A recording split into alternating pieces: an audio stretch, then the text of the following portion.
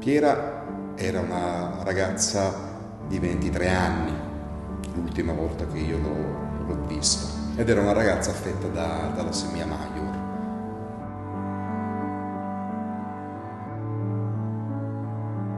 Certe volte io sorrido quando sento parlare degli altri dire la Piera Cutino, perché ovviamente per loro non è una persona, la Piera Cutino è un'associazione e io rido, cioè,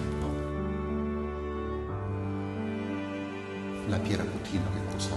Che cos'è? Non è più una, una ragazzina di 23 anni. È cresciuta.